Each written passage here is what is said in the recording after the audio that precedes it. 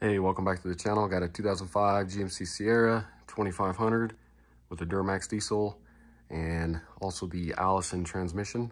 And I'm going to be replacing the internal transmission filter along with the external and then of course the fluid as well. Pop your hood. And then with your hood popped over here on the passenger side, this uh, black dipstick right here, this is going to be your transmission. So just go ahead and uh, kind of pull out on that. Okay, so go ahead and crawl underneath the vehicle here, locate your uh, transmission pan, which will be right here. This does have a drain plug. That'll be a 15 millimeter. And uh, get yourself a large drip pan to collect it all. And I like to measure out how much came out, and we kind of use that as a reference to when we go filling. And uh, this transmission is cold. It sat overnight. I prefer to do it this way because uh, transmission fluid expands with heat so let's go ahead and pull this drain plug out of here and we'll let this drain.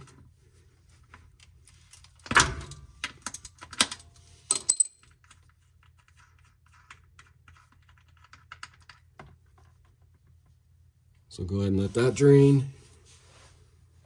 So while that's draining, let's go ahead and take off the uh, external transmission filter here. See if I can do it by hand. Just go ahead and unscrew it on there too tight. So take you an oil filter wrench if you have to.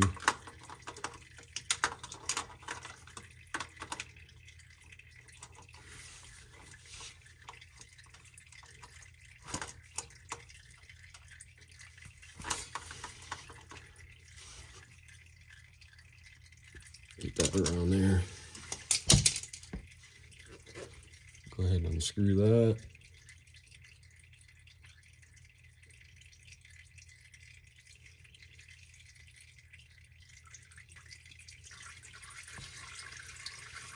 I'll let that drain here for a second.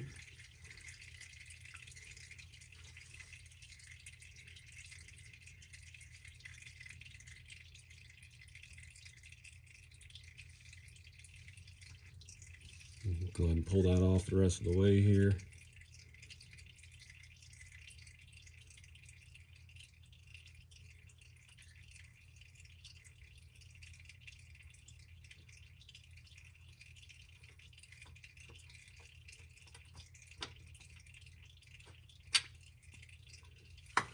And then just double check.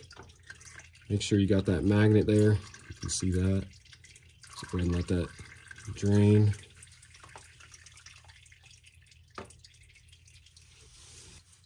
Once that's pretty much done draining, you can go ahead and uh, stick your drain plug back up in here. Just so that's not dripping on us.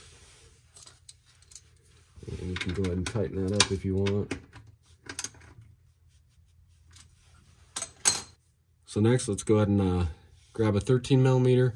We'll start pulling all these uh, transmission pan bolts here, and then uh, we'll go ahead and lower the uh, pan.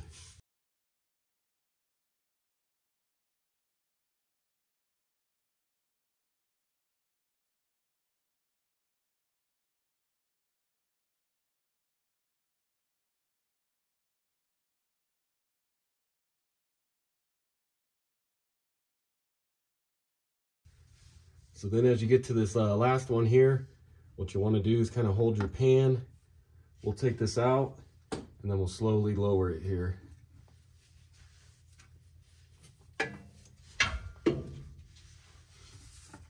So hold your pan.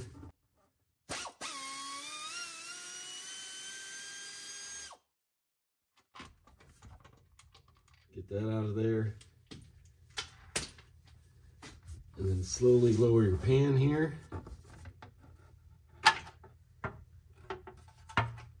And you can kind of go towards the front here and then drain whatever is left in there.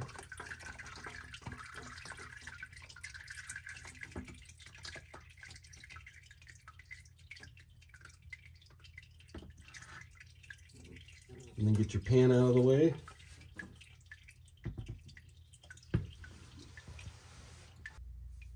Then with your pan out of the way, of course, this is our filter. You can see it slides up into the transmission right there. So what I'm gonna do is uh, I'll pull down on the filter, drop that down and there should be quite a bit of more fluid that'll come out of there as well. So just go ahead and pull down on this. You can see that just pops out. Go ahead and empty the rest of this too.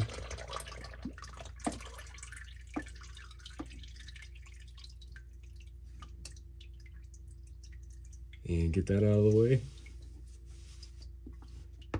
And then if you look up in there, sometimes it'll come out with the filter, sometimes it won't. You'll see that orange O-ring. So we need to remove that. So I'm just gonna use a little pick here. See if we can just kind of pry that out of there.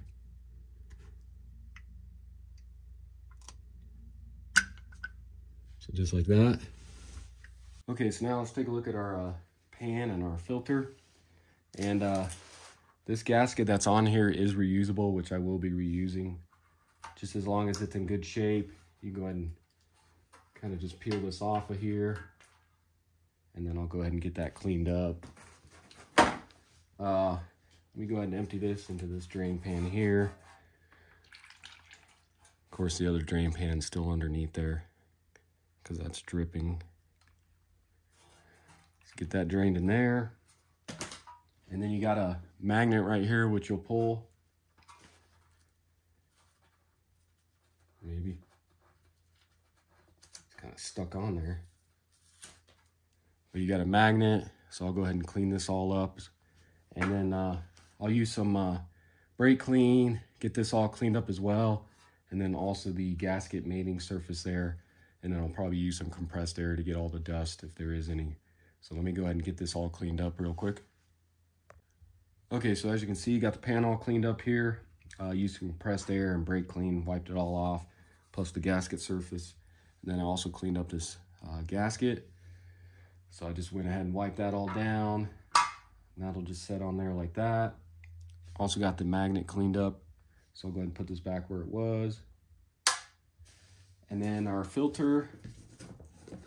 So I'm with the uh, Genuine OEM 29537 Got this off Amazon. I'll put a link in the description. Like I said, this doesn't come with a gasket because they expect you to reuse that one. And uh, that's what it looks like. You can see it comes with the new orange uh, O-ring. So if we compare it to this one here, you can see looks pretty much the same thing here. Flip it over and all that matches as well. So let's go ahead and uh, stick this filter in now. So then grab your new filter here and uh, I'm just going to take some of this old fluid here and then just kind of coat this uh, orange o-ring with it wherever you can find some of it here. Just make sure that O-ring's nice and lubed up here.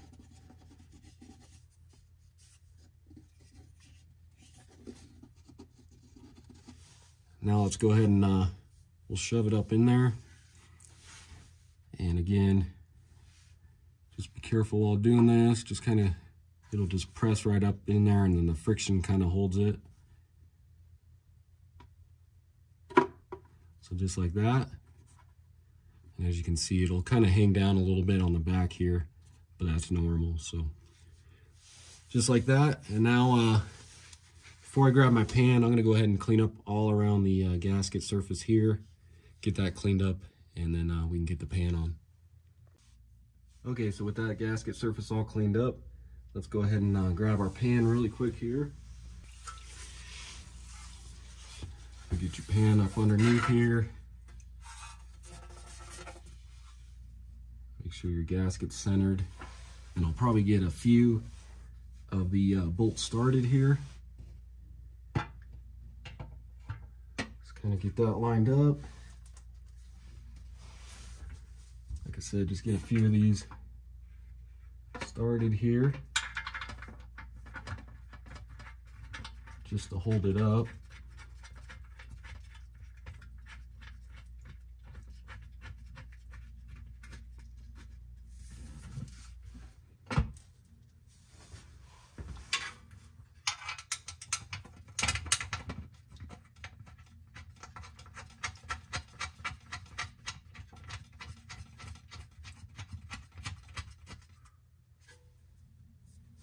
Should be good with just two. So I'll go ahead and uh, get the rest of these started and uh, also get them just snug. And then we can do the uh, final torque here at the end. And it's always good to uh, just stick these in by hand. That way you don't uh, cross thread them. So just always get these started by hand.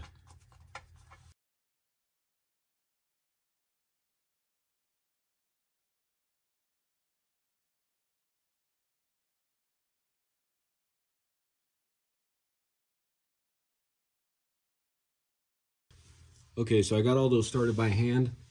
But uh, before I go ahead and start torquing them, um, I want to get this pan out of the way. But let's go ahead and get our uh, external filter on so that doesn't uh, keep dripping on us. All right, so let's go ahead and take a look at our uh, external filter here. So like I said, make sure this magnet comes off with the old filter there and it's not stuck up in there. Or I've seen where people don't even know this magnet exists. So they'll unscrew the uh, filter and then they just toss the filter and then that magnet's gone. So what I like to do is uh, I like to just buy, if it's a car, I don't know, or a truck, I don't know. I mean, I like to just buy the new uh, external filter that comes with a new magnet. It's only a few bucks more. Um, but this is the genuine Allison. I got this off of uh, Amazon. I'll put a link in the description. You can see it has the new magnet already on there. Because I didn't want to run into a problem where I unscrewed that filter and then that magnet's gone. And then I got to wait on a magnet. So I just go ahead and order it with it. And then also, I'll show you what fluid I'll be using. So this calls for uh, Dexron 3, which came from the factory with Dexron 3. But they don't make that anymore. So now Allison recommends you use this Castrol TranSynd 668 in these uh, Allison 1000 transmissions. So I went ahead and got uh, three gallons of it. And then what I'm going to do real quick here is I like to just uh, prime this filter with some new fluid. Just put a little bit in there because I don't like putting a dry filter on there. So let me go ahead and open this. And then let's just go ahead and uh, fill this filter up here.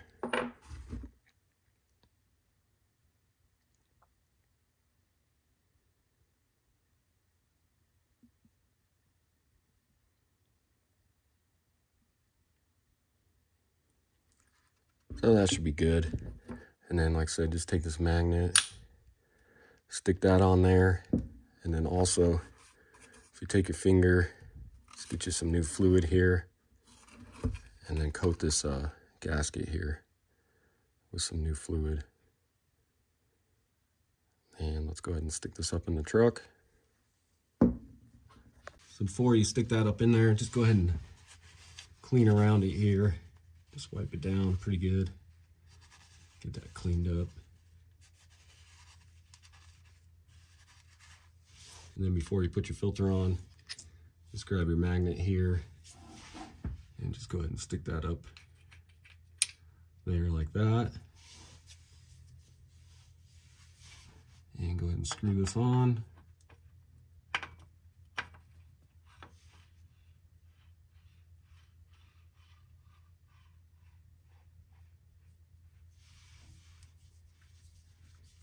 And just hand tighten this, just like an oil filter.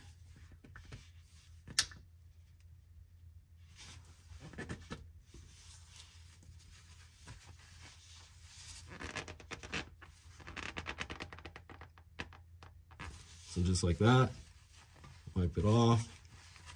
And now let's go ahead and uh, get these snug and I'll get the torque wrench. So when I go to snug these, I'm gonna go kind of a crisscross pattern. Like I said, I'm just gonna use a little tiny impact here, and then uh, we'll use the torque wrench here.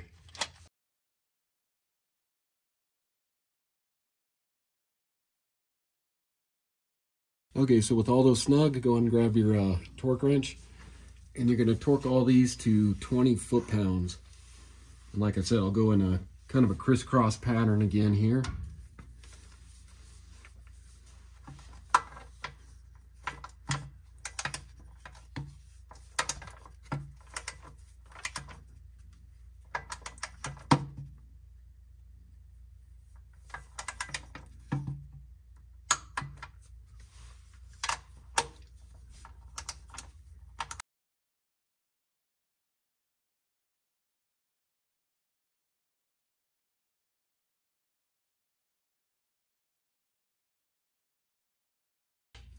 Once you get all those uh, torqued, I like to just go around each one again and then uh, just double check just in case you missed any.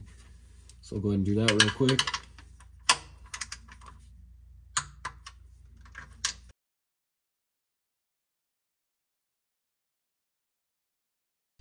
Then just double check your uh, drain plug bolt there.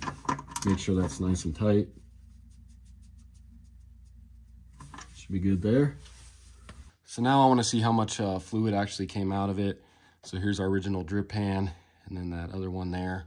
So I'm just going to go ahead and add this into this one here.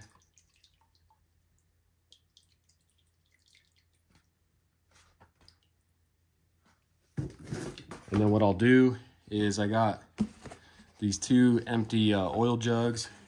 Both of them are empty and these are five quarts each. So I'm gonna go ahead and dump what's in here into these jugs here and then we can measure and see how much came out.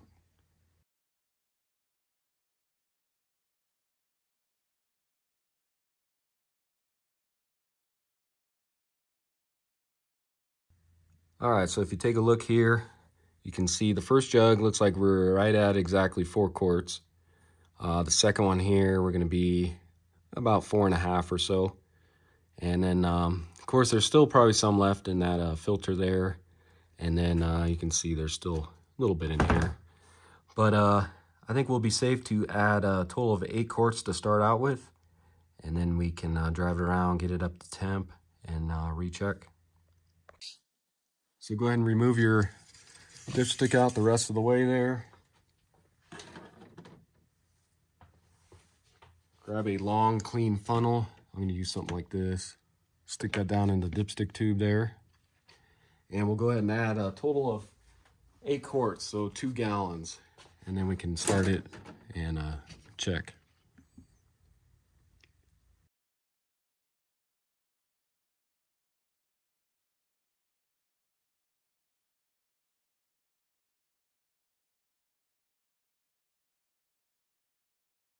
Okay, so there's two gallons, which will be uh, eight quarts.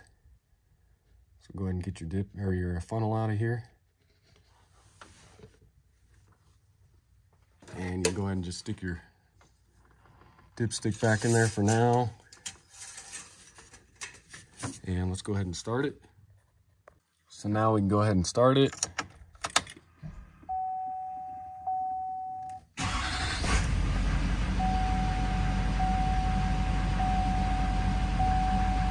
That run for a second here.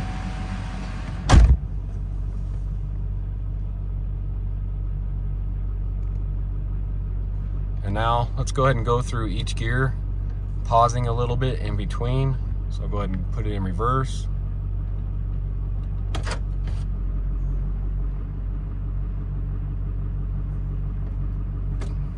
Neutral.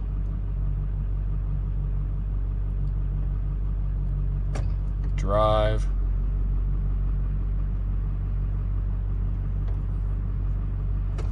Third.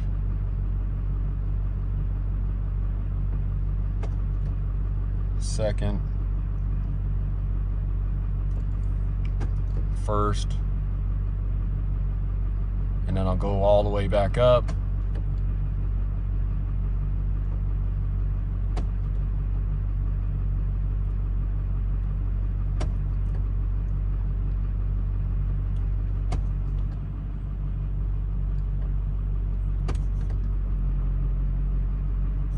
and then back to park. So I'll go ahead and do this one more time and then uh, we'll go ahead and jump out and check the level.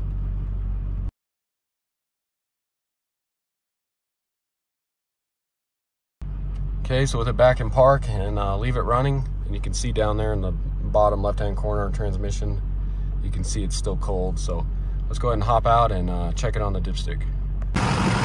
So go ahead and grab your dipstick here, wipe it off.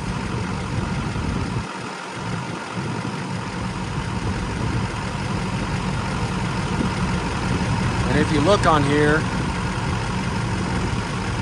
you'll see we got a hot crosshairs and then we also have cold. So we're checking to make sure we're in the uh, cold crosshairs. So stick it back in there.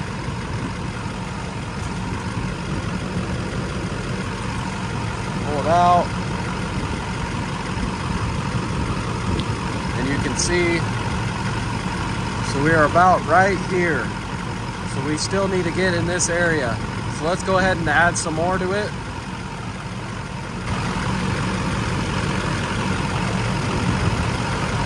So I'm gonna start out with about one quart. So we'll go uh, right to right to there at the three.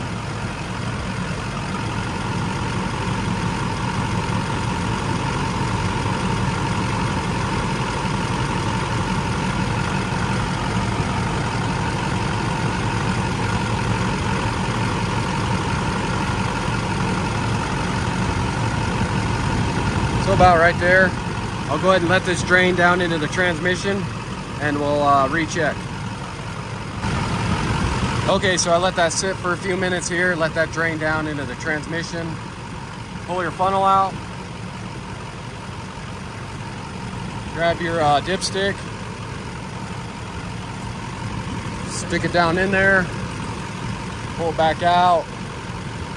Wipe it off.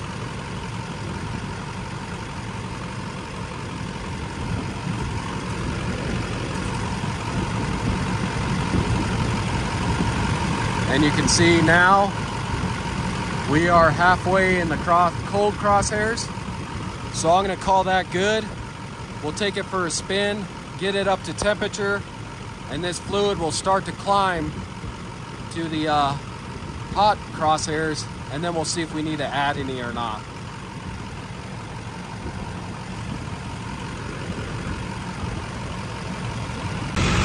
And then before you take off, just take a peek underneath here.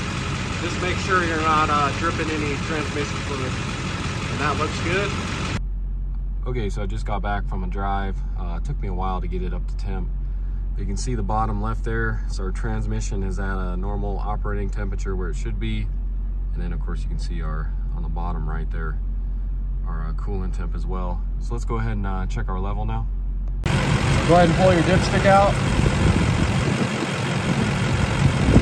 Wipe it off. Stick it back in there.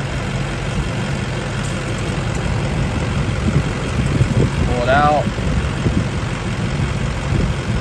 And as you can see, camera zoom. But we are right there, right in the middle of the uh, hot crosshairs. So I'm gonna call that good. That way if it warms up a little more, still has room for this uh, fluid to climb up to the top of the hot crosshairs. So as long as you're in the uh, hot crosshairs, you should be good.